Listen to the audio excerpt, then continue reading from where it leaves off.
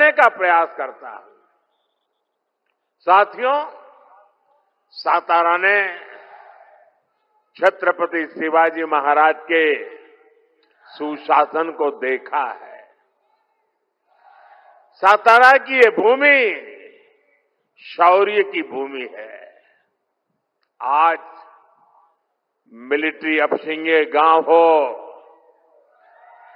या सातारा का कोई भी सैनिक परिवार हो, आत्मनिर्भर होती भारत की सेनाओं को देखकर वो सबसे ज़्यादा खुश है। आज हमारी सेना के पास एक से बढ़कर एक मेड इन इंडिया हथियार है।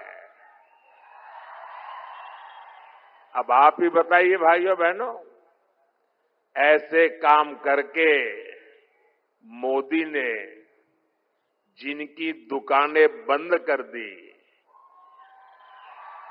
वो खुश होंगे क्या? वो खुश होंगे क्या? हथियारों के जिन दलालों को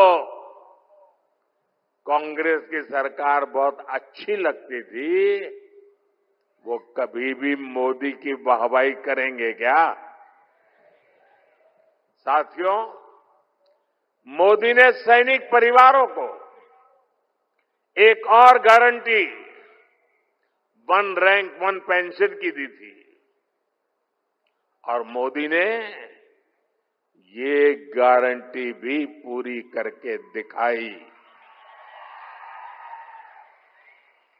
कोई कैसे भूल सकता है कि कांग्रेस ने 40 साल तक सैनिक परिवारों को one rank one one rank one pension OROP उससे वंचित रखा।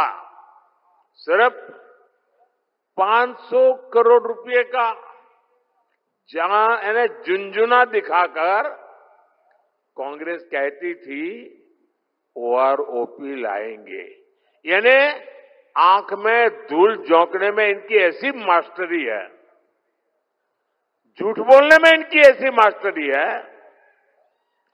आज बीजेपी सरकार ओआरओपी के एक लाख करोड़ रुपए अब सोचिए, वो 500 का खेल खेल रहे थे 500 करोड़ का।